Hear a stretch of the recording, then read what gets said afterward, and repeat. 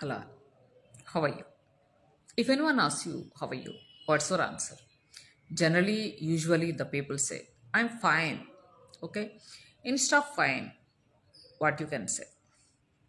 Okay, I'm good. I'm well. I'm happy.